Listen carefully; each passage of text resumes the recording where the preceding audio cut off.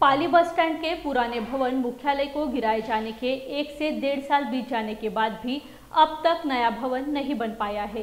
पाली के लोगों द्वारा कल्पना की गई एक सुनियोजित और अच्छी तरह से सुसज्जित बस स्टैंड जल्द ही साकार होना चाहिए। यह सुनिश्चित करने के लिए प्रतिनिधि मंडल के माध्यम से मुख्यमंत्री एकनाथ शिंदे से मुलाकात करके पाली बस स्थानक का काम किया जाएगा। ऐसा मत शिवसेना रायगढ़ जिला प्रमुख प्रकाश भाऊ देसाई ने स्पष्ट किया। कसं आहे या संदर्भामध्ये सगळ्यांनीच अथक परिश्रम केलेले आहेत. पत्रकार असो समाजसेवक असो अनेक उपोषणं या संदर्भामध्ये झाली. एक काळ असा होता की ते ब- बसस्थानक पाडण्याच्या वेळेच्या वेळी हे उपोषणं झाली नसती तर का मोठा अपघात देखील घडला असता. परंतु ज्यावेळेला उपोषणं झाली त्यावेळेला प्रशासनाला जाग आली आहे आणि प्रशासनाने ते डिमॉलिश केलं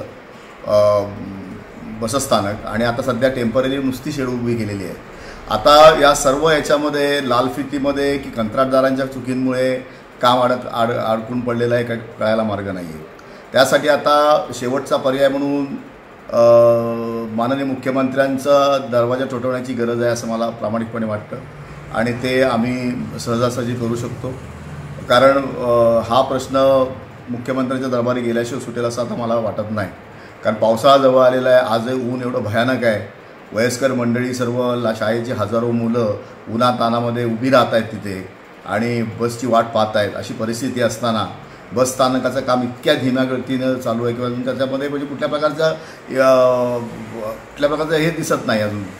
किंवा की बाबा हालचाल होते आणि ते काम आता पावसाच्यात पुरं होईल किंवा केलं जाईल पूर्ण असं वाटत नाही आहे त्यासाठी एक निवेदन आम्ही ता त्वरित एक मंडळ घेऊन शिष्टमंडळ घेऊन स्वतः मुख्यमंत्र्यांची भेट घेतो आहे आणि मुख्य म- मुख्यमंत्र्यांच्या माध्यमातून त्वरित या बसस्थानकाच्या कामाला चालना मिळावी यासाठी त्यांना साकडं घालतो